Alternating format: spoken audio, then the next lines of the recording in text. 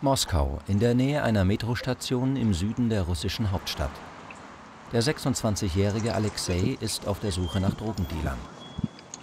Нет, таких людей мне не жалко абсолютно. Как бы, я считаю, они должны понести заслуженное наказание. Narcostop nennt sich eine nationalistische Bürgerwehr, die seit 2013 Jagd auf Dealer macht. Vor allem junge Männer zwischen 17 und 26 Jahren organisieren sich in dieser Bewegung, die ca. 100 aktive Mitglieder umfasst.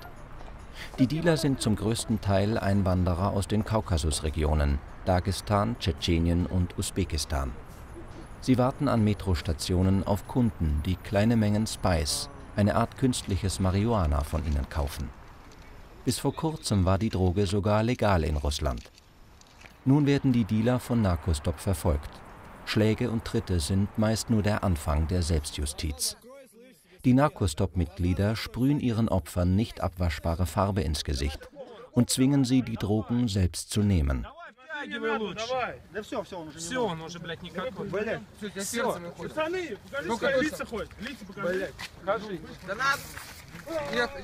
Вот, я считаю так, пускай на собственной э, на собственной шкуре почувствует то, что они продают людям.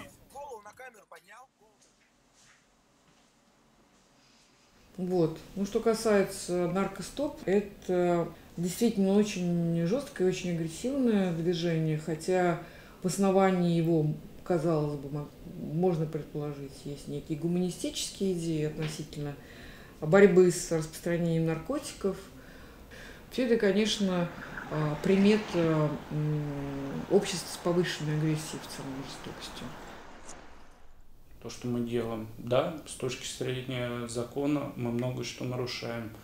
Да, наши действия могут подпадать минимум под статью хулиганства, которая предусматривает уголовное наказание. Но, как правило, все эти наркоторговцы – никогда не будут писать против нас заявления там, о каких-то побоях и так далее.